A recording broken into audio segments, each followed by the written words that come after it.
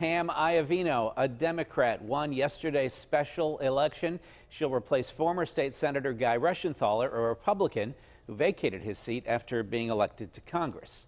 In a victory speech last night, Iovino thanked her supporters and said she can't wait to get to work. Political editor Jon Delano spoke with her today and has details on what she'll try to get done in Harrisburg. Democrat Pam Iovino, the first woman to represent the 37th senatorial district in the South Hills, western suburbs, and Quaker Valley, and only the third Democrat since World War II, admits she's tired after a grueling campaign. I am uh, more than a little tired, yes. I sat down with the senator elect at Cafe Io's, her nephew's restaurant in Mount Lebanon, a day after her big win. And I asked her about the national buzz about her flipping a district carried by President Trump. Do you think there are national implications in your election?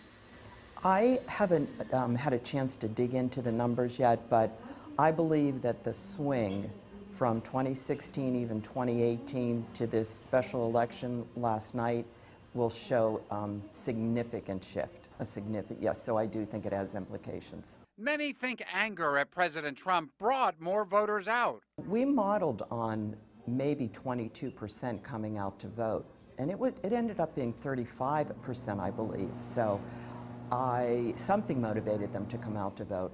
The 62 year old Navy veteran doesn't focus on gender, but this region now has four women in the state Senate. We want our elected officials to really reflect the, um, the electorate that they're representing. Iovino sees herself as a moderate Democrat and hopes to work with Senate Republicans. Actually, in the state Senate, it is more bipartisan than one would, um, one would think. She says the issue she heard the most at people's doors health care, both protections under Obamacare and the ongoing battle between UPMC and Highmark.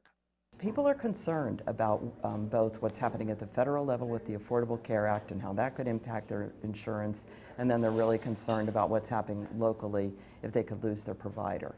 Of course, filling out an unexpired term, Iovino only has until 2020. I expect because it is such a swing district to uh, that the Republicans will want to attempt to take it back again, but this time I run with the experience of having run, run once before. Now, it's hard to believe that next year she has to do it all over again. Iovino won because she turned out Democrats and because Republicans in Sewickley, Upper St. Clair, and other areas voted for her too. What that says about the national political scene next year is conjecture, but clearly the Democratic winning trend continues. Iovino is expected to be sworn in sometime in the next two weeks. Ken, Christine? Jon, thanks.